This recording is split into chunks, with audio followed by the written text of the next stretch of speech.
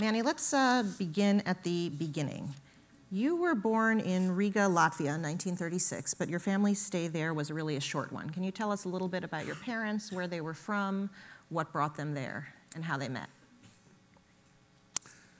My father was born in what was then Austro Hungary, and it was part of Hungary, but it was actually Transylvania. You might know it a lot better because there was a very famous count that came from that part of the world. You remember him?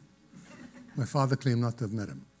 But the point is, that's where he's from. My mother is also from Hungary, but from southern Hungary, which after the First World War became part of Yugoslavia.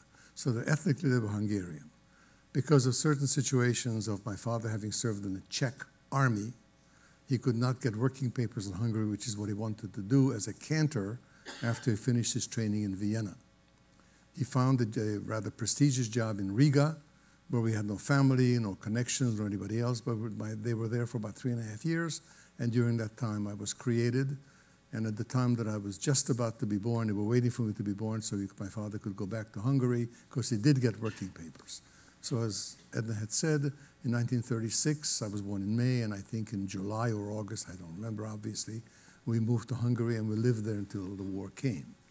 He had a job in Hungary, in Budapest, which was a prestigious job as a cantor, one of the four chief cantors of the city of Budapest, which at the time had 200,000 Jews. It's a very large Jewish community. And I just want to interject for those who are not familiar with Jewish religious practice that a cantor um, is a member of the clergy who specializes in both ritual but also music. So uh, your father was a performer as well as a religious leader. The most famous cantor in history is one Johann Sebastian Bach. That was his title, believe it or not. He was a cantor. Uh, you had mentioned a story that your mother had told around uh, someone saying you now speak Yugoslavian. Can you explain what that means, please, and what borders were well, shifting all the time. Borders were shifting. As I mentioned before, my father was born in Austro-Hungary, served in the Czech army. Today, that village is in the Ukraine. The village did not move. The government did. My mother was from Hungary, which in 1919 or 1918 or so after the First World War becomes part of the new country of sorts of Yugoslavia. Not the kingdom of Serbia, but Yugoslavia. Today it's Serbia again. My mother tells the story that one day when she's in whatever grade she was in, the age of 10, teacher comes to the class, or the principal comes in and says, boys and girls, tomorrow, or the week after the weekend, we're going to change language from Hungarian to Serbo-Croatian. If any of you know anything about Hungarian and Serbo-Croatian, you would know that there's not a syllable that's the same in those languages, not even the alphabet. Hungarian is written with the characters that we use in English, and Serbo-Croatian is, is written in Cyrillic alphabet. So they had no issue about it, they were bilingual. But this is the kind of change that came about as the countries changed borders and changed governments. And your grandfather, he was a rabbi, was he? Yes. Okay, where did he live? My, my grandfather and my grandmother, my mother's parents, lived in the city of Novi Sad and here again. Novi Sad is a Serbo-Croatian name for Újvidék, which is the Hungarian, and then Neusatz, which is the German. It's in southern Hungary, northern Yugoslavia. He was the rabbi of the community. My father and my mother met there and they married there. So I would say for anyone who might be having a little confusion or difficulty following all these languages, they've actually gotten the idea. The idea is this is a very um, cosmopolitan, multicultural, Mixed shifting environment. Mixed up, that's the technical term, absolutely. Um, so your family, your parents, your father got the job that he wanted in Budapest. This was really a, a plum position, was it not? It was very much so. And you moved to Budapest. Um, how did he come to get that job? What did that mean for your life? Did a lot of people know who you were because you were the cantor's kid? I can't give you chapter and verse about the early years, the very early years, because I came there, as I said, I was a few months old. My recollection is much clearer from the time I was about four or five. Life was very nice. My father's income and position was of some significance, so we had a very lovely life, as I remember. Well, you were a child. Right. So, um, children, I think, even in stressful situations, they don't know any different. But as you said before, the, the uh, Hungarian anti Jewish laws, though promulgated in the 20s, did not become enforced until 38. So the beginning of the actual laws, there was really no impact of any of those laws until late 30s. As a consequence, life was very good and very comfortable for all of us until it began, they began to squeeze the envelope. So could you tell us a little bit more about that squeezing? What kinds of restrictions? When did that start? And this is under Hungarian rule, not German. As it was mentioned in the introduction, Hungary became a country that was connected to the Nazis as Italy was, namely, they were allies. As a consequence, Hungary both had the problem of having a Nazi connected population. They were called the Arrow Cross, which was the Nazi Party of Hungary. But in addition to that, they also had the privilege of not being invaded. If you know your history to some degree, you know that many countries were invaded from 1937, 38, 39, Poland, and so forth. Hungary doesn't have any German troops until 1944. So our life day today was in some ways easier and began to be more difficult as certain restrictions came in. Example, everybody was required to wear a yellow star, which I, as a first grade kid, thought was a mark of distinction. That's terrific. Here I am, a little boy, and I have a yellow star just like the adults do. Until a little bit later when I discovered that this is not a mark of distinction but a target. Let me explain. We lived on the fifth floor of our apartment building, the top floor. And from the corner of the building where my parents' bedroom was, you could see down the street and you could see my school. We lived at number 13. The school was at number 44. You can imagine, like two blocks away. Yet I'm told, and I didn't know this at the time, that most every day, perhaps every day, my father or somebody would follow me to school. Why? Because what was beginning to happen is that this was a target, not a mark of distinction. And somebody would come by and whack you on the head. They don't want your book, uh, shoes, your books, your jacket, or anything else. Just want to whack you on the head. Because a Jewish kid to the start can be whacked and nobody's going to say boo. I didn't know this until a little bit later when I began to discover that maybe a mark of distinction is a misnomer. In 1942, my father began to leave the house because he was called by phone or by letter or by somebody came to the door for what were called the labor battalions. Let me digress just a little bit. Hungarian men were conscripted into the army. I said, that in 1941 they were fighting on the Russian front. To do the work that the men could not do back in Hungary, the labor forces were created of Jews who were not drafted into the army. So they were called out for one day, for a week, for a month, or for an undetermined period of time to repair roads, to repair railroads, to do some mining, to do other kind of work, work that they had no familiarity with, but you learn quickly. And my father would be gone. From 42 until 44, when we were deported, I saw less of my father than I saw him. His being gone was perfectly normal in my life. As a consequence, my father was not in my life for two years. He was home sometimes.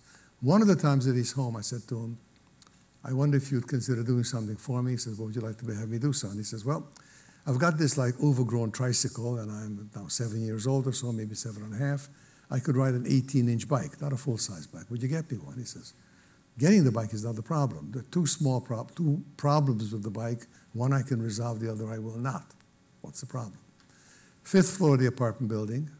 The apartment building had an elevator which was as old as the building, 50 years old, and had breaks and mechanical problems. And the equipment that had to be repaired was repaired in those kinds of workshops and factories that now were repairing tanks and guns and stuff. And the elevator parts for my building were kind of low on the priority list. So my father said, I have to truck the bicycle down. We'd have to go to the park. You'd ride the bike. I'd come back and truck the bicycle up. I could not truck a 18-inch bicycle up and down the stairs. It just wasn't big enough or strong enough at the time. My father was. He says, as much as I would not like not to do it, I will do it. Second reason is a more important one. We're in the park, which was near the house, and uh, had the picture come up, you would have seen the park. But the point is, if we go to the park and you ride the bike, you're out of my sight for 12 seconds. Somebody might decide that you and your yellow star, which had to be worn, are a target. And they can whack you on the head. They don't want your bike. They don't want your shoes or your coat. They just want to whack you on the head because this is something that says permission is granted. I began to understand at the age of seven that this was not a mark of distinction, but a target. A couple of other things rather quickly. Man comes to the door and he says, The telephone has to go. My father was home, said to him, Well, I need the phone for my work. He says, that's too bad. Law was passed, no telephones in Jewish homes. If anybody can see the logic of that, I'd like to know what it was, but that's what it was. Most homes, most middle class families, and we certainly were middle class, had some kind of household help. There was a young woman from one of the local farms who lived with us. She was at 17. She had her own quarters in our apartment, and she was my mother's helper.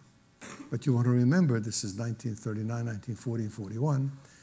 There weren't too many here, but certainly in Europe, there were no washing machines, dryers, refrigerators, freezers, microwaves, and toasters. So all of this work was done by hand. She was told she had to leave the house because Jews could no longer employ any kind of domestic help. She was my buddy because she was the closest in age to me. She was 17, I was about eight, and she had to go. These were the beginning restrictions that came and kind of pulled the straps on a duffel belt bag and kind of tightened the noose around the Jewish community. I have to grab my timepiece from there. I didn't want to walk while you were talking. Um, did your family have any difficulty in obtaining food during these early years of the war? Were there other kind of material uh, deprivations? My recollection is twofold. One, no, we had all the food we wanted. However, my grandparents who lived in the village, uh, in a house, not the village, it's a community of maybe 100,000 where my mother was raised, lived in the courtyard of, a, of the synagogue where my grandfather had been the rabbi. They had apartments on the edge of the courtyard. There was some land. And as the war came, they began to grow some turkeys and some geese in a little cage. And they would send one up to Budapest through a messenger periodically. I don't seem to recall that we needed it, but it's certainly a very nice supplement. The food was okay.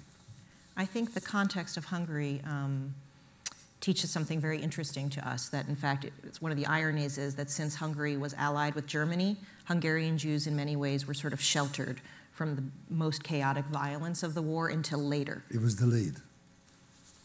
Um, let's talk about the first time, though, that you really did encounter violence. In December 41, your family took a trip. Would you tell us about that, please? My parents decided to take, this is the winter of 1941. I was not yet in school, and my father had some time. So they decided to go south by train from Budapest to Novi Sad, my mother's hometown, to visit with my grandparents and my mother's two sisters and one of my cousins, which we did. There was nothing particular about that, about a three, three and a half hour ride by train. And we stayed in my aunt's apartment. My mother was the oldest of three. This is the youngest aunt who became my favorite aunt. It's her birthday today or tomorrow. She's long gone, but we recognize her birthday. And as an anecdote, I have one cousin left who lives in Belgrade, in Yugoslavia. She's the daughter of my mother's brother, my first cousin, and I talked with her this morning because we recognize our aunt that way. But we go south to Novi Sad and we stayed in my aunt's house. I don't recall anything happening the first day or two, although I do remember that her husband took me to uh, his factory. He manufactured cork products. Ask me no more, that's all I can remember. About the third day, in the morning, somebody comes up the elevator or the stairs and says, There's something funky going on in the street.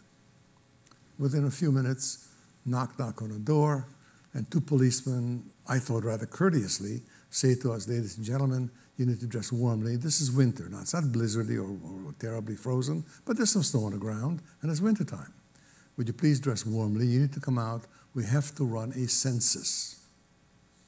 Now, we all know that we do a census in this country every 10 years. The Nazis felt that if they do a census every 20 minutes, I exaggerate, that would be helpful to them in keeping track of where everybody is all the time. And it in fact worked. So tell us to come out. We get dressed. We come out on the sidewalk. They said, please light up on the sidewalk and then turn left and walk in the, that direction, which we did. I remember clearly that we walked for some time, a couple, three hours perhaps. I walked, my mother carried me, my father carried me. I'm five and a half years old, I'm a little guy. And we arrived in a place that I recognized, believe it or not. There was this eight foot stockade fence, the sidewalk, and then the main road. In European cities, perhaps some of you know this, that have no oceans or seas or lakes. People will make beaches out of rivers. Now, the Danube River, major river, runs through the city. And on the left side of the stockade fence, between the fence and the river, which was frozen solid, about three feet of ice, maybe two or three hundred yards, were beaches in the summertime hot pools, cold pool, pools, thermal pools, amusement park restaurants. It was a lovely place. I'd been there the previous August. This is only three or four months later, and I remember being there. Why we were there, I didn't know, of course, but neither did the adults. We're lined up along this stockade fence. Eventually, my grandparents also came, and my aunts came, and others. And we kind of huddled together, walking in that direction, and we see that the gate to the beach is open. People will go to the gate and turn left. That's all we know. As we're doing this, there's a police officer standing on the right who says to my father, Mister, what are you doing here? My father says, I'm visiting my family. He says, Well, that's, that's your business. But you're not from here. If we count you in the census, you and the people around you will mess up the numbers. We can't do that. My father said to him, How do you know me? He says, Well, you don't recognize me, but I recognize you. I'm a foot patrolman, police officer, street police, a block from your house in Budapest. I was brought in here to assist in this particular project that we're conducting, and I know you're not from here. My father says, Well, it's very nice of you to recognize me. I, I did not recognize you. He says, Please stand aside, which we did. Within minutes of the standing aside, a staff car comes down the main road, uniform guy gets out, has a powwow with the rest of the officers, and makes an announcement with the bullhorn that says, Ladies and gentlemen, the requirements of the census have been met. Please go home. If you want to stop at the school over there and get some hot chocolate and coffee, you're welcome to do so. That was not of our interest. But folks, understand, as much as you may be bewildered, so were we. What happened? My father grabs the first taxi, we'll go back to my aunt's apartment. The first call comes in from my other aunt, who says, well, at 7.30 in the morning, two policemen came to her house, asked her three questions, and said, thank you very much, goodbye. As the phone calls begin to come in, we understand what happened. Some of you folks may be familiar with the fact that by this time, this is 1941, late 41, there were certain partisan activities, guerrilla activities in the forest somewhat. Now, there's some films made about it. And something happened in the general area of the city. In retribution for this particular activity, the local gendarmes, whatever you want to call them, created a pogrom. P O G R O M is a senseless, purposeless, useless, and valueless activity which says, I can do this to you, and there's nothing you can do about it. Everybody made the left turn towards the river and marched two or 300, 400 feet towards the river. The river had been opened up by cannon fire that morning. They were shot into the river. Several thousand people, Jews and non Jews, were marched into that river. Were never found, were found downriver where the ice may have been thinner, or were found as bodies in March when the river thawed out. That was my first experience at any kind of Nazi related Holocaust experience. Nothing to me personally, because obviously I wasn't shot, but that was my first experience in a visual way of what happened. And these shootings were conducted by policemen, by officers of the and, law. and officers and military and the Hungarian gendarmerie and, so forth. But by officials. Absolutely. So the thing that I want to emphasize is that these Hungarian measures and even the early years of Nazi Germany, these were not crimes. These were things that were done within a legal framework, just a discriminatory framework. To the surprise of everybody, when I do tours here, and I do, I tell people that there was nothing the Nazis ever did that was illegal. Get a load of that. Nothing illegal. Because what they did is they passed a law which made anything legal. If you, they wanted to make murder legal, murder is legal. So murder was no longer an, an arrestable offense because they first passed the law and then everything was legal. This is one of those experiences. In this um, mass murder, this massacre that happened in Novi Sad, approximately how many people were shot? The estimates go up to 3,500. Maybe not at that spot, but of this particular several day pogrom that took place. For those of you who've been through or will go through the museum, you'll see a very famous pogrom of sorts called Kristallnacht, the night of the broken glass, which was also a reaction in Germany that happened before this one I've described to you. So your family returns to Budapest, I'm sure quite shaken from this um, near miss of, of violence. Um, by March 1944, tensions, and I'm simplifying very complex history here, um, tensions are increasing, disagreements are increasing between the Hungarian government and their allies in Nazi Germany. And in March 1944, the Germans invade. Uh, they invade Budapest. Um, could you give us a little of that background? Why didn't the Nazis invade Hungary sooner, and what did this actual direct occupation mean for your family and other Jews in Budapest? Well, as allies, they were separate and unequal, but they were separate. In 1942, 41 actually, the number two man in the Nazi government, whom you may recall his name is Hermann Goering, writes a letter on behalf of Hitler which talks about the final solution to the Jewish problem. That is not put into actual operation until 1942. There's a conference in Berlin called the Wannsee Conference. Wannsee is the name of a building. It's still there, and the building has no significance, where the head of the Nazi government in Eastern Germany, a general who was later assassinated in Prague, calls a conference and appoints the man who is going to be in charge of managing the transportation of Jews into the various camps. The man's name is Adolf Eichmann, if you know the name. Eichmann does a very creditable job in what he's able to do in all of the countries throughout Europe. And the last country he comes to, because of the Allied connection, is Hungary. So the Nazi government does not arrive into Hungary until March the 19th, 1941, which is very late in the war. 44. I'm sorry, 44, of course. Uh, as you recall, D-Day is in June of 44, and the war ends in May of 45. This is very late, and most everybody in the Nazi government understands their future, except for one person who never accepted his future, named Hitler, who thought he would win the war the day before he killed himself. But everybody else kind of knew, and they were taking certain steps to deal with what might happen after the war. Now, wasn't Budapest bombed by the Soviets? And what was that And like? the Allies. remember? The early years of the war, not the Holocaust, are very clear in my mind.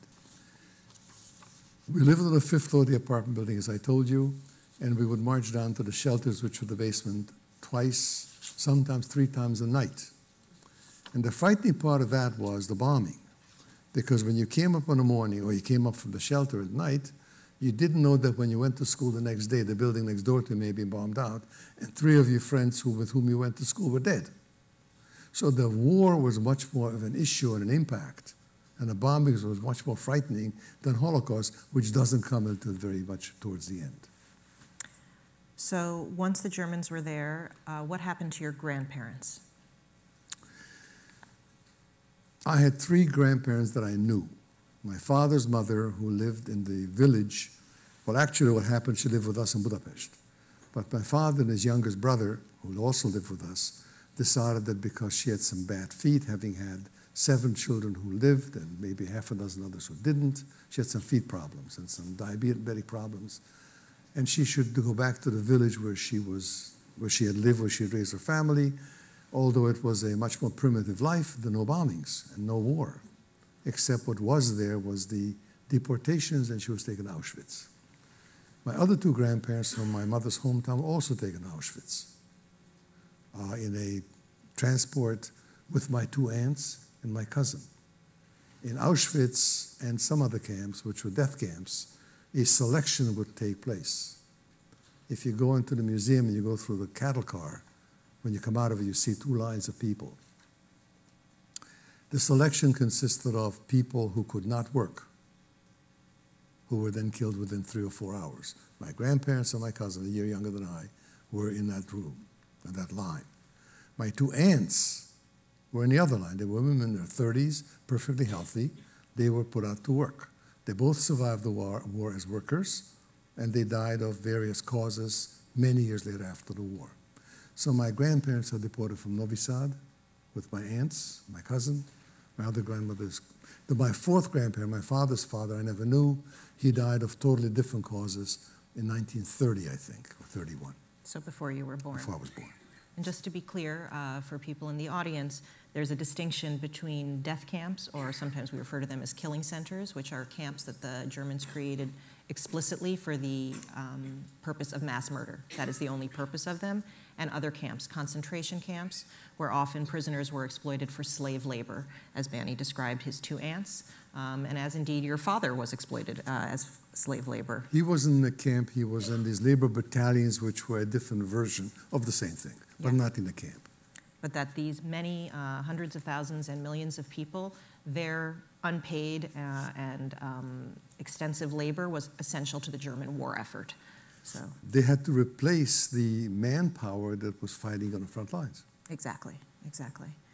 Um, so let's go into later spring 1944. Because of the circumstances we've described, at this point, the Jews of Budapest are really the last intact Jewish community in all of German occupied Europe. What changes in May 1944?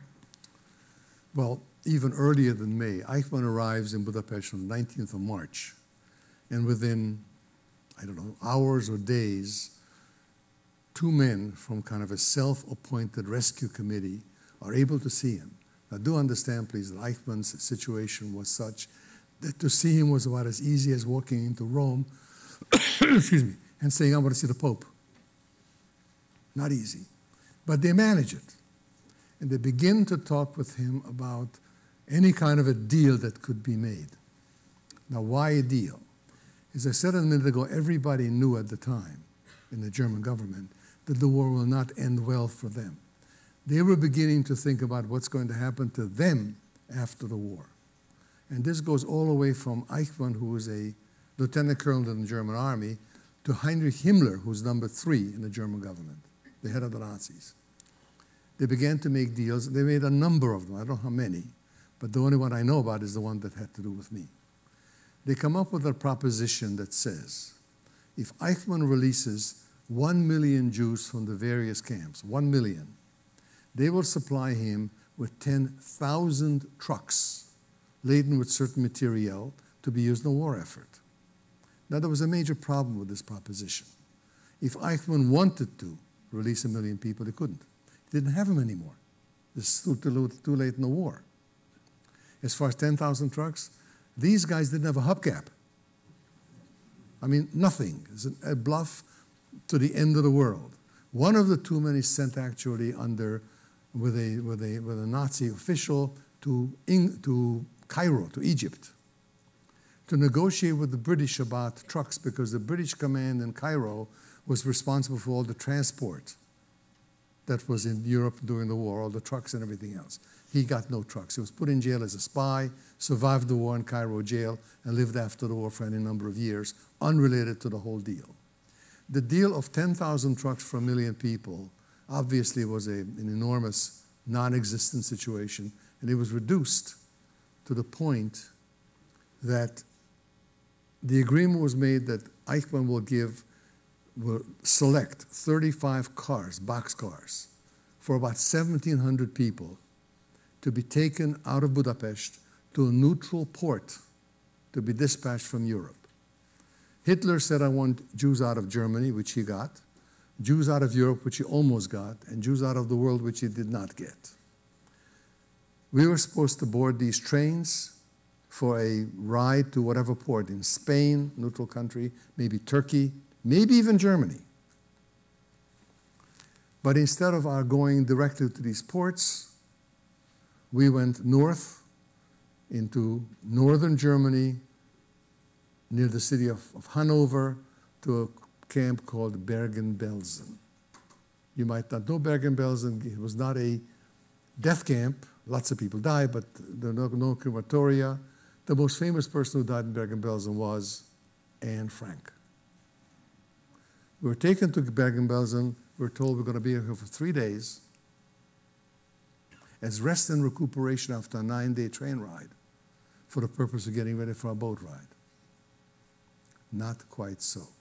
I want to back up on it for a couple of sentences. That the negotiator in Budapest with Eichmann is a Jewish lawyer by the name of, of Kastner, Rudolf Kastner, who was part of this rescue committee, and he was the negotiator.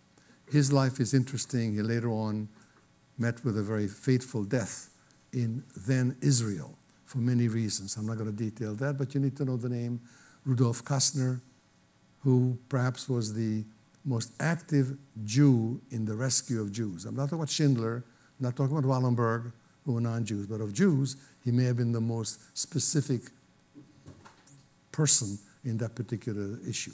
Now, we go to Bergen-Belsen, and we thought we were going to be three days. After six weeks, negotiations continue. After six weeks, 350 of us were released on, under German command and taken to Switzerland. I wasn't one of them. Four months after that, for a total of about five and a half months, in December, I and my mother, who was with me, my father was not, are also taken to Switzerland. Now, understand, please, we were a hostage group. It was not in the interest of the German government to kill us, because if you kill us, you can't trade us. You can't trade dead bodies. The issue was the deal was no million for 10,000 trucks, but about 1,700 for what they called valuables. As you can imagine, valuables were the things that you could carry in a suitcase diamonds, rubies, jewelry, not cash. Money was useless unless you had dollars, which nobody had, or he had British pound sterling, which nobody had. But other kinds of valuables, which are negotiated worldwide, have ever been, in fact, were the valuables for which we were exchanged. They would not get these valuables unless they delivered us live. Our life was the same as everybody else in these camps, in terms of weather, in terms of food, in terms of mud, in terms of illness. But at least we were not turned out to labor, and as a consequence, most all of us, in fact, survived.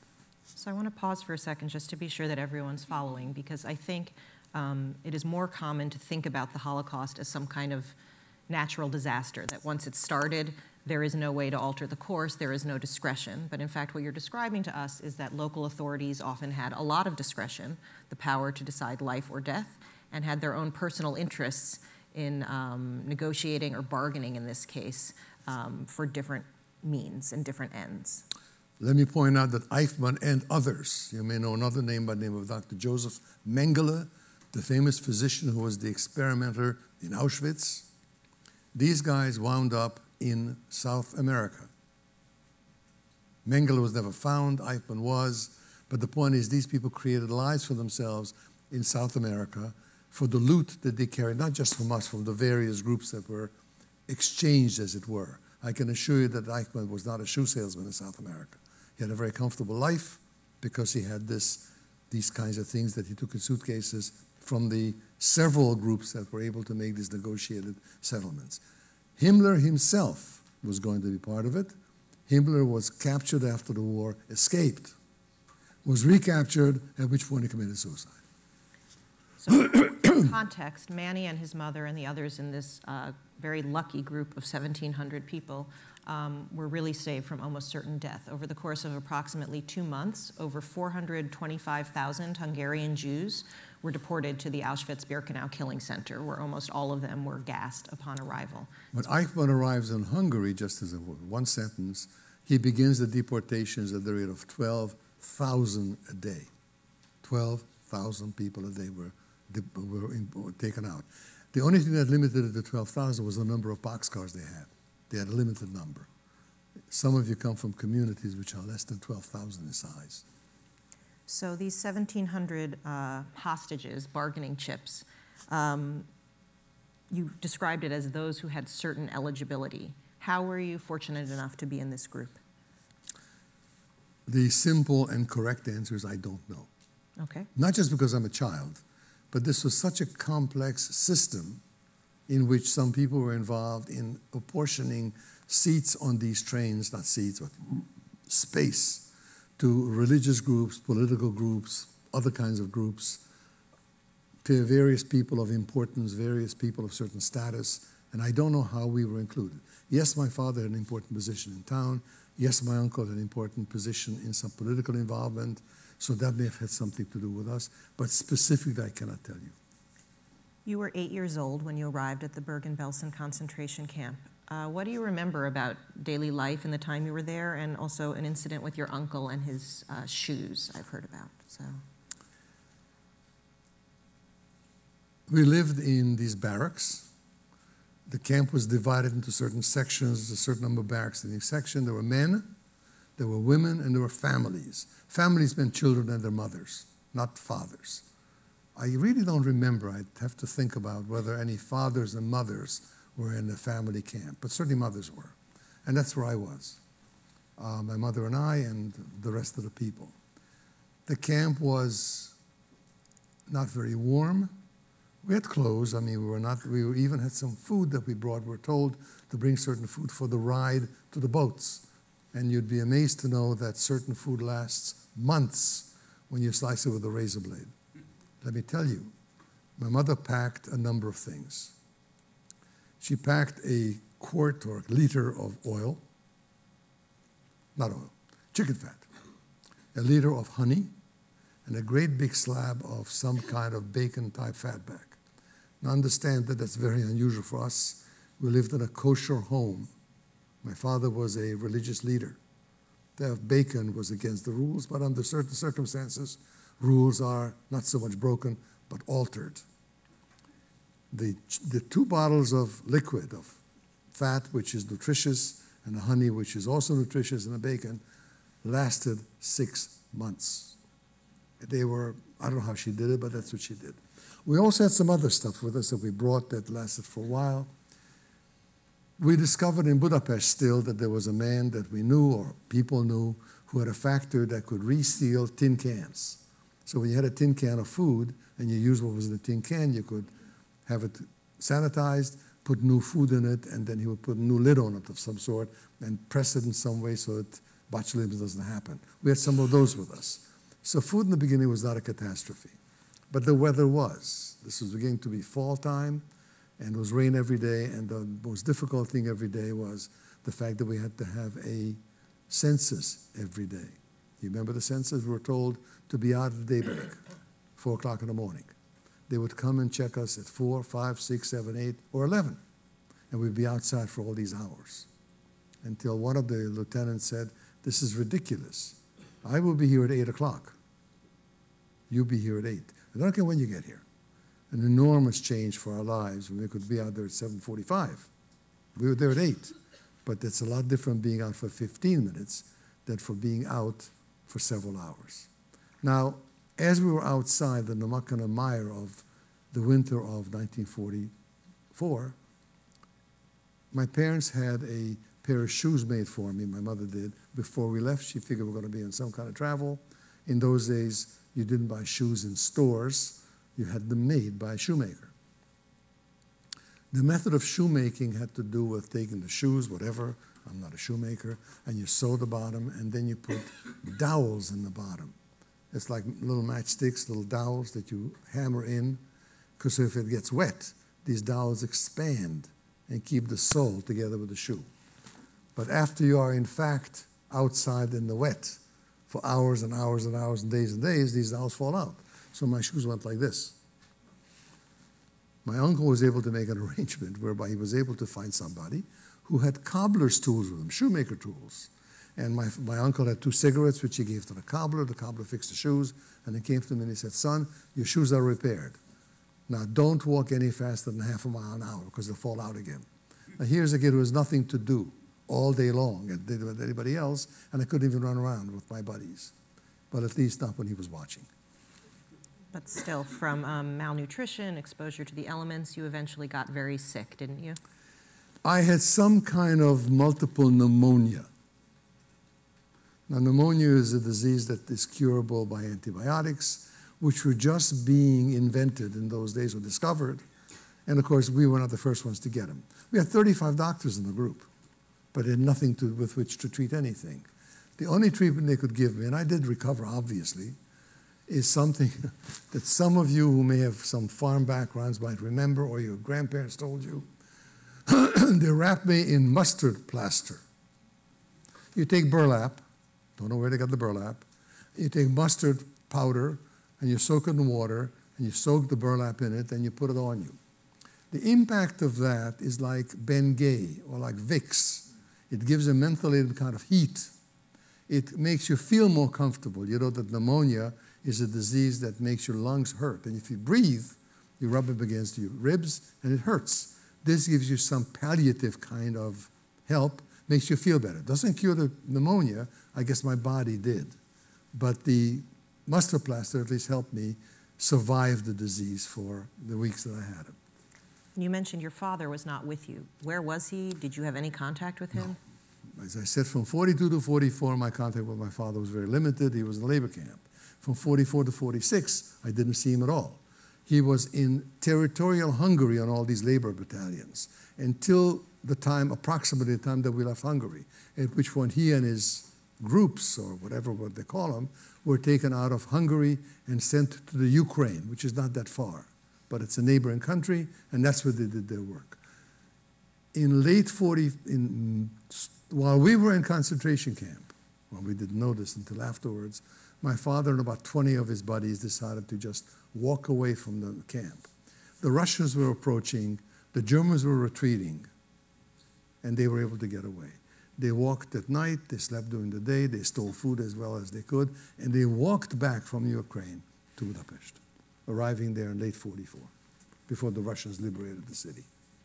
And you and your mother, in the meantime, in December 44, as you mentioned, you were finally sent to Switzerland, which was neutral.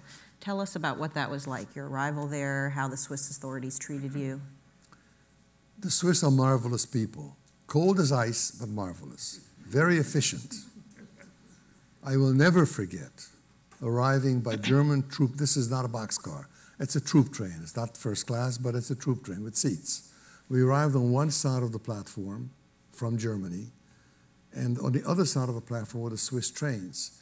Please understand that the Germans and the Swiss had this arrangement. The Swiss made it.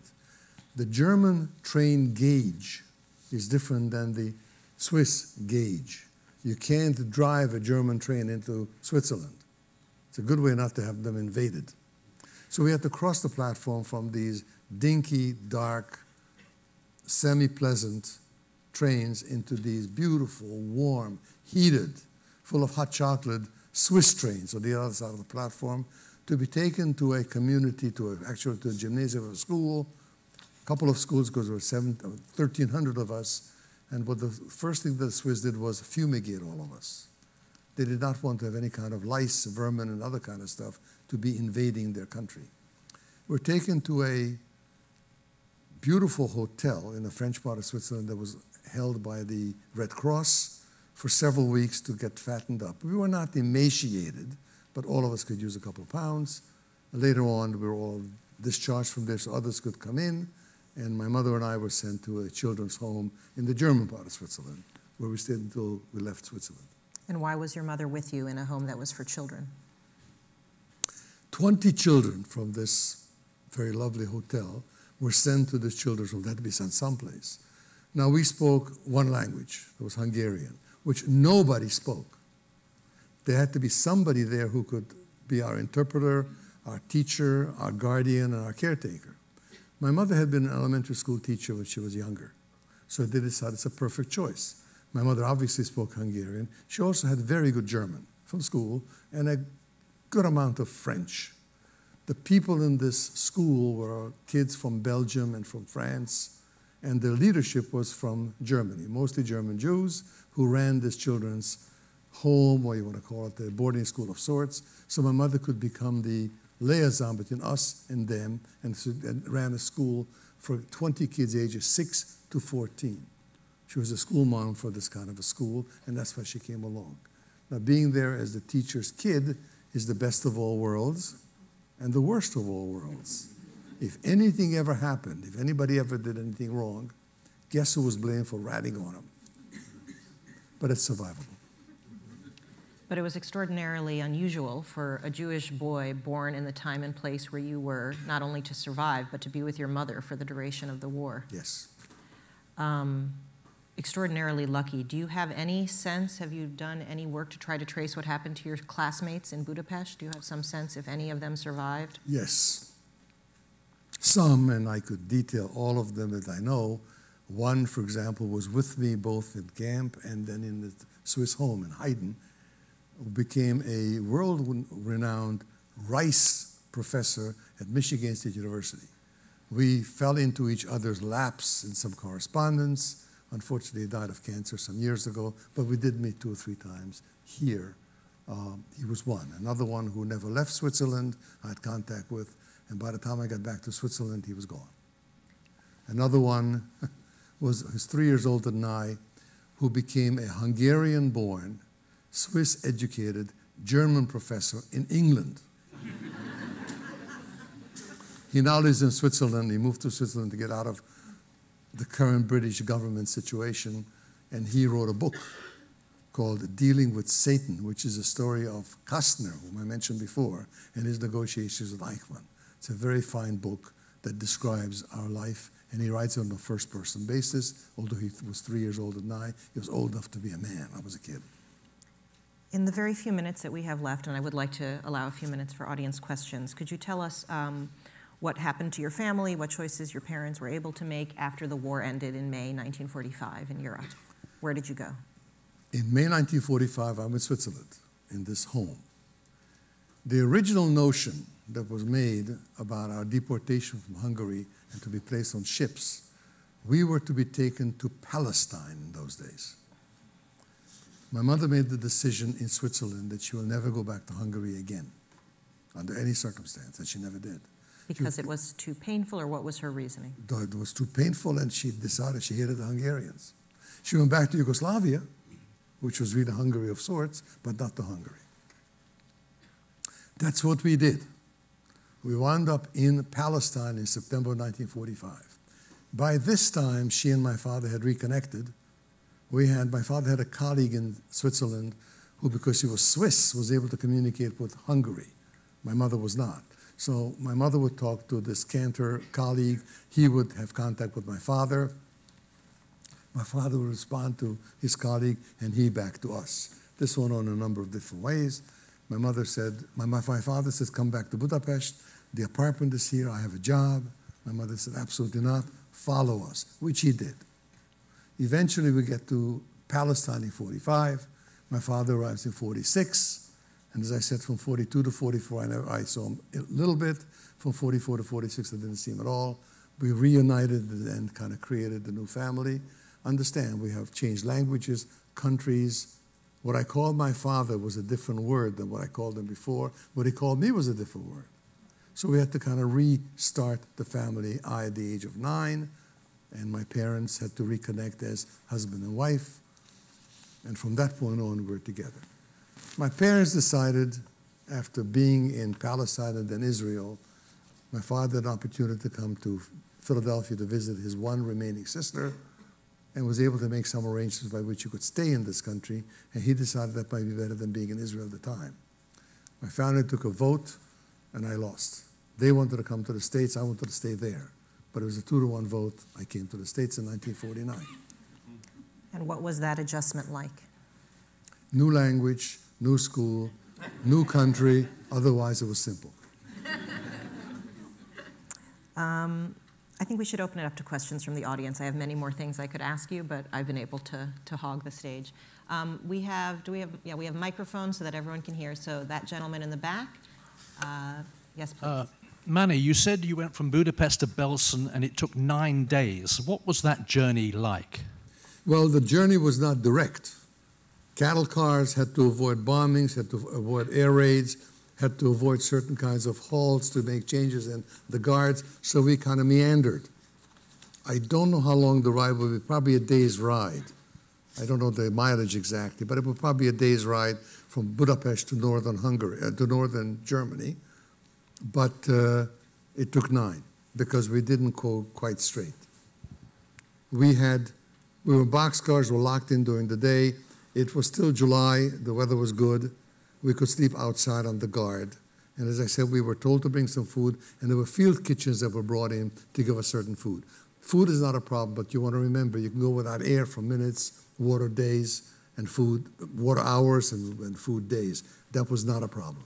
I mean, a large one. Survivable. Uncomfortable, but survivable. Other questions? It's a shy group. oh, yes, there's one there got one right here. Oh, first this young man and then someone in the center. Thank you. How many languages do you know? Well, I try English.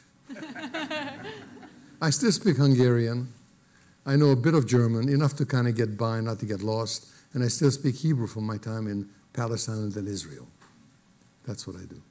So that's four. That's three and a half. Okay. Fair enough. Yes, in the way back. Thank you. Um, I- Maybe this is a stupid question. I, I've always wondered it, though.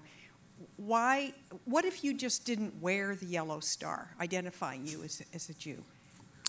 Took off the yellow star. that? I'm sorry? Who forced you to, to, what if people just said, I'm not going to do this?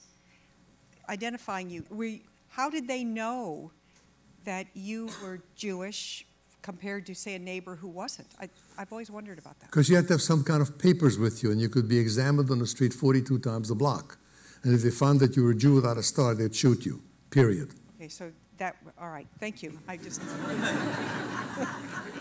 So they could, they could examine anyone. They could walk up to anybody and say, show me. They me. did. Oh, okay. The, you may want to remember, folks, and we never had that in this country, at least not to my knowledge, that there you couldn't cross borders without papers. You couldn't cross streets. You had to have identity cards at all times. Uh, in this country, how often are you examined for your, your identity? I mean, you are if you go on the airports, and sometimes if people with woo stop you in a car. But short of that, how often do you have to pull out an ID card? You go to the hospital, you have to have an ID card. In Europe, that was not the case, particularly during the war. Identity cards were, I mean, you kind of could have walked like this with them because you could have been asked anytime, and you were. Why are you on this street, in this section, something like that. And if you had an identity card which said you had a Jew, which is a big J on it, because Jew is spelled with a J in a number of languages. If you were there without a star, I need not say anymore. And I can tell you, in the museum's collections, we have identity cards from countries across Europe. I'm picturing one from Norway, which also has a big red J. But it also reminds you again of opportunities. If someone could obtain false papers, either forged papers or assume the identity of someone else, that was a way to hide in plain sight as a Jew. Um, and some people did survive that way. Um, we have only one or two minutes left. It is our tradition at First Person that our first, oh, we do have one more question. Wait, we need the mic for you because we're recording and also we want everyone to hear, so. Oh, I'm So you- sorry, did you have someone there? Yeah. Go ahead. We'll, we'll, we'll stay two minutes Bruce, I'll later. get to you in a second. I'm, just- I'm just forcing you all to. The stay. gentleman I happen to know.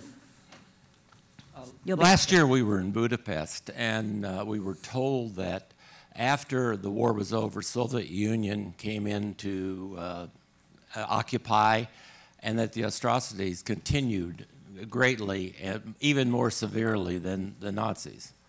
Is this true? Well, I can't speak to it firsthand, I wasn't there. Uh, the Soviet Union, remember, liberated Hungary.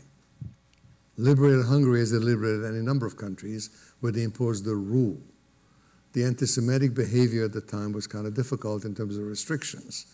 The atrocities were not daily shootings or march to the river and being shot, and they were not concentration camps, but there were significant, significant kinds of, how do I put it, restrictions. So it was not the same as the Nazis, but it was better, but not by much. No deportations. Food was rationed. There were lots of difficulties under Russian rule in all of the Russian occupied countries, including Hungary. Yes. Manny, how did you come up with the preserved photographs of you as a little boy after all these years and uh, after all these travails that you, you survived? When a bombing started in Europe, many people, most people, all of us had certain kinds of storage lockers, both in the attic of our building and in the basement. That had earthen floors. What people did, my parents did this, they dug out parts of this earthen floor, not to bury anything to hide it, but to save it from the bombings. If a bomb fell on a building or in our apartment, it would destroy everything. And they put stuff in several crates they were able to do, and this protected them. My mother had certain dishes and certain other kind of finery and books and pictures and whatnot that they were able to put there. After the war, my father came back, was able to find this and then ship it out. But it was a protection from the bombings, not protection from anything else, and they were not hidden in the sense of you know hiding your valuables, just kind of burying them to protect them from the from the terrible, ter- terrible devastation that bombs can cause. Okay, that's why I have them. Uh, I do want to mention, Manny told me just before the program that actually there's a new book about his family's life. It's called Imi, A sorry, IMI, which is uh, the nickname for Emanuel, Manny's full name. Um, we have it in the museum shop and can fill in more of these details. Um, but it is our tradition at first person that the first person guest has the last word. So anything you'd like to share in The closing? museum has no more books because we had a book signing here on Sunday and Monday, and they're out of books. I've asked them to reorder. I guess it takes a little while to do it. It is available on Amazon, and it's also on Kindle for your information. I've been asked to do this. I've done the first person, I think, 10 times, if I'm not mistaken, and I'm usually given the opportunity to make some kind of pithy comment at the end. I thought about it, and I thought what I would do, folks, is I would give you a challenge. As I said, I'm a docent at the museum and I do certain other volunteer things. And I find that most folks, forgive me for being blunt, know very little history, including the history of their own family. So I would like to challenge all of you to the following. I'd like you to go home and either find or buy any kind of a small recorder or use your phone and mark down the history of your own family. For those of you who do not know your grandparents' history or even your parents' history, when I ask kids, where do your parents work? And they tell me, for the U.S. government. That's not enough. This information ought to be retained, and it can be retained today. I would love to be able to go to the Library of Congress, pull a disc, and have somebody from the Civil War or from Genghis Khan's troops talk to me and tell me what happened. But it was impossible. Today it's possible, and we should preserve this kind of history. You remember the man's name, no, you don't remember the name, but the man who said, Those of us who do not learn our history well may be doomed to repeat it. His name was George Santayana, over 100 years ago. Remember his words, and in order to not make happen what he talked about, possibly, record your information of your family. It might be valuable in the future. That's my challenge, and I thank you. Manny, thank you very much. It was an honor to be with you today.